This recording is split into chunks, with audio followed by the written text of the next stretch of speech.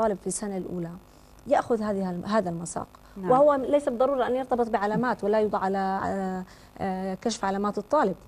الهدف الأساسي من هذا المساق هو تعريف الطالب بالجامعة وبأنظمة الجامعة وبتعليماتها وكيف يقضي الفراغ وإلى أين يذهب وكيف نخلق فيه حب الانتماء للجامعة لأنه يحدث عندنا أيضا مشاكل أخرى كمان كمان بالإضافة اللي بتحكيه ثقافة العلاقات كمان ثقافة نعم. الزواج والثقافة الجنسيه هذا جزء دخل. أساسي وأنا عم بيطالبوا فيه الكثير من الأكاديميين الآن إنه كمان مهم إنه نعم. مو بس ندرس مساقات جافة وجامدة يجب تكون كمان له علاقة نعم. مش عم نشوفه على الفضائيات وبمدارسنا وبجامعاتنا عم نخجل نحكي فيه ليه إذا سمحت هذا يجب تفضل يجب أن يكون هذا بشكل مسبق قبل دخولنا إلى الجامعة يعني أيضا نعم. المدارس نعم. المدارس نحن نحن نعاني من كثير من المشاكل والتصورات الخاطئة عندما يأتي الشاب والجاء إلى الجامعة أو الفتاة إلى الجامعة وتنشأ نعم. علاقات غير غير مقبولة على الإطلاق ربما تتعدى إلى العلاقات للأسف العلاقات الجنسية إذا أنا أقترح بأن يبدأ أو الزواج العرفي أو الزواج العرفي من خلال المدارس وبيان آه، كيف يمكن أن نبني علاقة نعم. سليمة وصحية بين الطرفين بين الشباب والبنات يمكن في حرية آه، دكتور يعني إحنا ما بدنا نحس إنه الجامعة مكان للانفلات من كل الممنوعات. في نعم. ضوابط عندنا وبدنا نأكد يمكن جامعاتنا نعم. بنعتز ونفتخر فيها. لكن حتى الاستثناء البسيط بيزعجنا وبنغص علينا. إحنا كأردنيين ما بنحب أي شيء لنتحدث فيه. يعني آه، موضوع كمان الإنترنت والعلاقات العاطفية. الصبح بالجامعة وبالليل بغرف الدردشة وهالأشياء. مسؤولية مين كمان هذا؟ هذا الفضاء الواسع. نعم. إحنا بنعرف وزارة الداخلية أصدرت تعليمات شديدة في على مقاهي الإنترنت. نعم. يعني بجوز إذا حبيت بس أعرج على قضية الاستغلال أو وضع الأمور الاقتصادية إنه استغلال الفتاة يعني حقيقة الظروف الاقتصادية الصعبة اللي بيمر فيها بيمر فيها المجتمعات نتيجة الأزمات العالمية الأزمات المالية اللي إحنا يعني بنشهدها كلياتنا وإحنا حقيقة مش بمنع عنها. طيب. أصبحت حتى يعني حقيقة الفتاة يعني بتبحث عن عن شخص يعني ارتباطه فيها ارتباط مصلحي ارتباط قائم على بس عند البعض إحنا نعم. بدنا نعزف مش لا طبعا الازمه والوضع الاقتصادي لا لا أكيد. يعني اسمح لي يعني دكتور بختلف في ناس كثير يمكن ما معهم مصاري بس ضلوا عندهم ناس وما عملوا علاقات لا نربط الفقر نعم. دائما في العلاقات إحنا حقيقة إحنا ما بنعمم. دائما إحنا بنحكي عن قضايا وإذا عممنا يعني يعني نلقي بانفسنا يعني ما نخلي الأزمة والفقر شماعه على أخطائنا لا لا نعمل لا. لا لا إحنا يعني نتكلم عن أبعد من ذلك لكن لابد من الإشارة لابد على يعني من الاشاره على بعض هذه الجوانب. نعم مصلحة نعم, نعم. هلا بالعودة إلى موضوع الإنترنت. حقيقة والشاتنج. يعني قضية الحب قضية العاطفة من البداية هي موجودة ولها تاريخ. يعني العلاقات كانت علاقات برسائل ورقية هذا نعم. يعني إذا بدك تاريخيا كيف كانت بالشارع نعم. بالضبط كان بالشارع بس ما كان هالممنوعات وغرف نعم. الدردشه هاي بنفس الوقت ما كان في اختلاط سواء ما كان في اختلاط بين الطلبة. اليوم الاختلاط أنظمة التعليم الحديثة المدارس المختلطة الجامعات المختلطة هذا وهذا وضع طبيعي. إحنا مش مش ضد هذا الانفتاح بالعكس. بس إحنا قضية التابو قضيه التحريم. انفتاح تابو يعني غير م. معقول يعني في الصباح في الجامعات وفي هلا رح نحكي كمان عن السكن بطالبات نوع من الاستقلالية وإنترنت. يعني بكل الجهات مش جهة واحدة يعني نعم أنا أنا أوافق في الراي لكن إحنا الآن في عندنا جهات مسؤولة في عندنا وزارة الداخلية في عندنا إدارة البحث الجنائي وأنا نعم. يعني استمعت من خلال برامج برامجكم برامج التلفزيون عن يعني بعض الأجهزة الأمنية اللي هي حقيقة مهمتها كانت ترصد مثل هذه القضايا نعم الهاكرز اللي كانوا يعني أو الدخول على يعني هلا الدخول على مواقع هي بظن مساله يعني مسألة مسألة صاحب الكافيه نفسه. وأنا حقيقة لما ارتاد أنا يعني كدكتور حتى ارتدت يعني بعض المرات بيكون بجوز عندي النت مش مش يعني متوفر.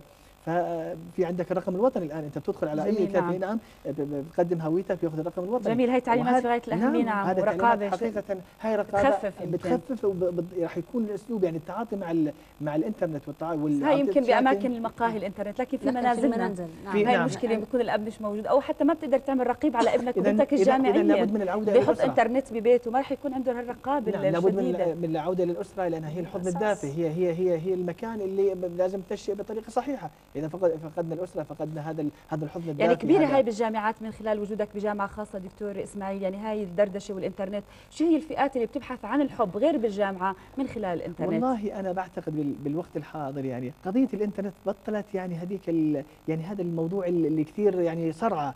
لأنه بصير إحباط بعدين يعني نعم لا لا يعني حتى يعني مش صراحة حاليا بالجامعاتنا لأنه تعرف تجاوزنا من موضوع الإنترنت بالجامعات نعم يعني جو من فترة جاوزنا يعني يعني هذه يعني قتلنا الأمية مع الإنترنت فبالتالي بطل كثير يعني ثقافة جديدة يمكن هاي ترتبط بالبلدان يعني اللي ما عندهم ثقافة الاختلاط نعم الحب نعم عن طريق الإنترنت والإحباطات اللي بيواجهوها بعدين. أنا, أنا بعتقد الآن علاقاتنا وإن كانت بسيطة ممكن كنوع من الدردشة واضاعه الوقت من خلال الشاتنج أو الإنترنت لكن حقيقة العلاقات يعني العاطفه هي أكثر مباشرة طيب. صارت فيها صراحة ومباشرة بشكل كبير. نعم اسمح ننتقل لسكن الطالبات. بتحسي بيمنح الفتاة حرية واستقلالية أم ضبط داخلي وخوف؟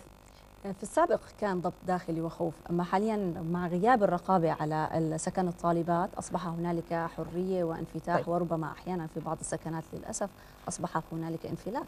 خلينا نشوف نعم. التقرير نرجع نكمل عن هذه النقطة تحديدا. سكن الطالبات الجامعي هل يمنح الطالبة مساحة من الحرية والاستقلالية أم أنه يشعرها بضرورة ممارسة الضبط الداخلي والشعور بالمسؤولية؟ السكن في منازل الطالبات هو ضرورة تفرضها بعد مكان السكن الأصلي عن مكان الجامعة التي يتم قبول الطلبة بها أو الطالبة بها لكنه موضوع إشكالي على الرغم من بساطته الظاهرية. فحين تسأل طالبة عن تجربتها في سكن الجامعات تجدها في حيرة من أمرها إذا ما كان أفضل وإذا ما كان يمنحها حرية من نوع خاص. وفرصة للاستقلال عن الأهل ولو مؤقتا أو إذا كان يتسبب لها بحالة من الشعور بالمسؤولية عن ذاتها ويتطلب منها مزيدا من الرقابة الداخلية التي قد تكون متعبة أحيانا. حول هذا الموضوع أيضا زميلتنا رغدة الخرابشة كانت بجامعة اليرموك ورصدت بعض الآراء.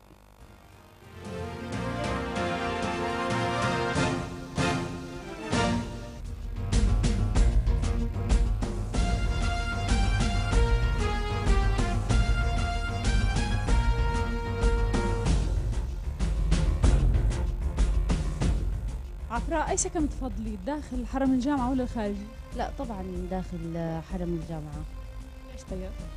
من جهة الأمن إنه من ناحية أمنية يعني البنت ترتاح نفسيا لما تكون داخل السكن فيه أمن من الجامعة طب رأيك السكن هو بيعطي البنت جزء من الحرية وتحمل المسؤولية ولا خليها تعمل بدها إياه؟ لا طبعا يعني حسب إنه كل إنسان له ضابط داخلي بنفسه. يعني أنا بإمكاني مثلا إنه أعمل اللي بدي إياه لأنه أهله مش هون. بس أنا إنه حاطة لنفسي آه، ضابط إنه ما أتعدى لي آه، حدود ما أتعداهم. في بنات بكونوا آه لا عندهم حاطين منطلق عندهم إنهم يتحملوا مسؤولية يحافظوا على نفسهم يجربوا يعيشوا بعيد عن أهاليهم ويتحملوا كيف الواحد ممكن يعيش حياة مستقلة ويتصرف وياخذ حقوقه ويمارس أي شيء بده إياه بس لحد معين في ناس لا تاخذها باتجاه الغلط إنه خلص بدها تعيش آه، آه، برا وبدها يعني تسوي أشياء ما كان مسموح تسويها عند أهلها أو إنها تمارس أشياء غلط. يعني مرات السكن بيكون ضار مرات نافع. بس حسب الإنسان يعني كل شغلة بالدنيا الإنسان هو اللي بيخليها منيحة له ولا لا. فاطمة برأيك تخلي الجامعة عن السكن داخل الحرم الجامعي هل هو إيجابي أم سلبي؟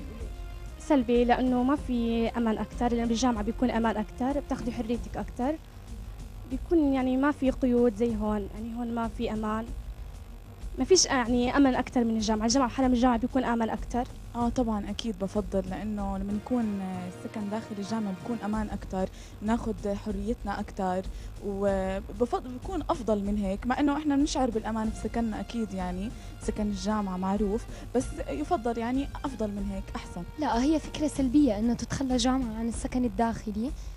آه لأنه السكن الداخلي كثير إشي مهم حتى الطالبة تشعر بأمان حرية أكثر وبنظام أكثر بالنسبة للسكن الجامعي آه، إذا كنا بنتكلم على السكن الحر لطالبات الجامعة آه، فهو إلى حد ما بيبقى فيه نوع شوية من الحرية قد يساء استغلالها من قبل بعض الطلاب إن بيشعر إن الرقابة غير موجودة بيقدر يخرج أو بتخرج في الوقت اللي هي عاوزاه فيعني المفروض إن يبقى فيه عوامل أكثر للضبط الاجتماعي المتعلق بمثل هذه الوحدات السكنية يعني يزاد الإشراف عليها يبقى في نوع من أنواع الرقابة الأهل ما يتركوش الأبناء بين حين وآخر يقوموا بعملية زيارات تتبعية لأبنائهم آه، متابعة سير العملية الدراسية وتقدمهم فالسكن الجامعي إذا لم يتم توظيفه بالشكل المطلوب يعتبر أداة آه، آه، خطره على شبابنا في المجتمع.